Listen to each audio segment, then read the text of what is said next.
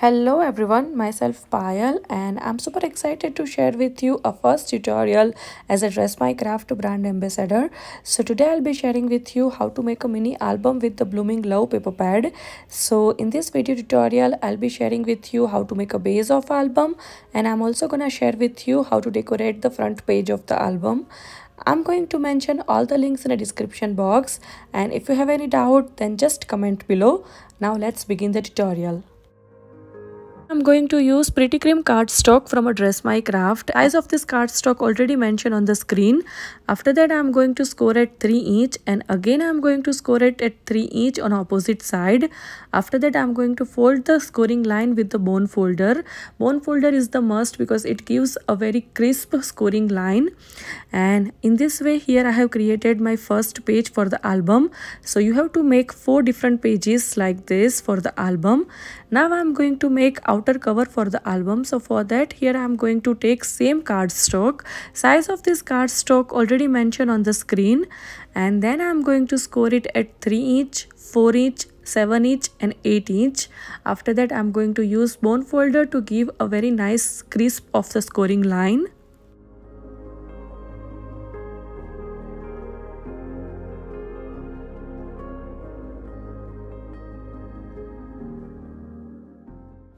so my outer cover is ready. Now i'm going to prepare inside pages for the album. So for that i'm going to stick all these pages together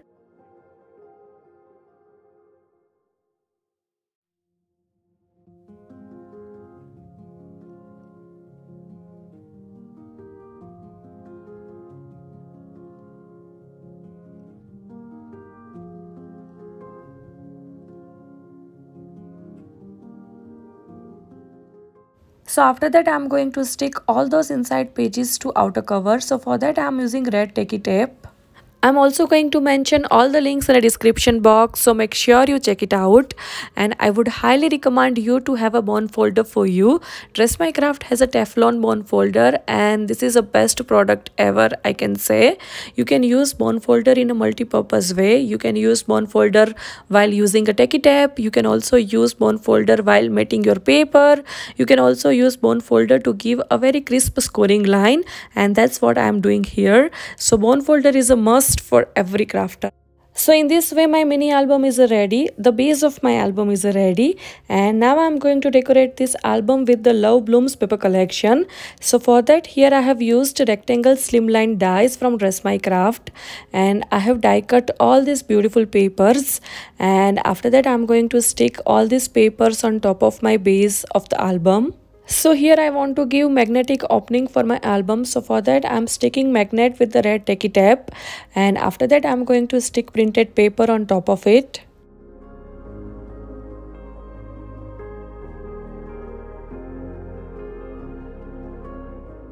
So in this way here I have stick all the printed paper on top of it and my album is already looking beautiful. After that I'm going to make front page of the albums. So for that here I have used rectangle slimline dies and a square dies to make a window. Here I am making a shaker card. So for that I am using red tacky tape and then I am going to stick acetate sheet on top of it.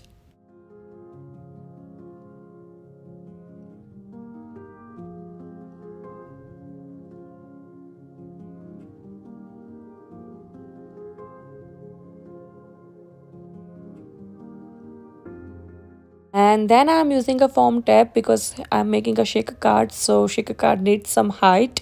And after that i'm going to add some sequins on top of my album. And in this way i have created a shaker card for my album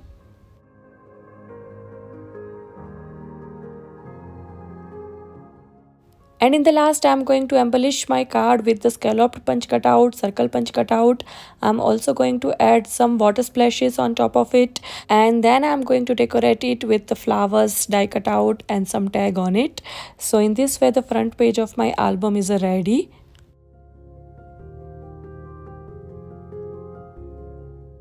so this is how my front page looks like. And after that i have already embellished inside pages of my album. So here i have used some foliage dies some punch cutout some motif sheet cutout. I have also used some sequins. I have also used some laces. So in this way you can also decorate your album.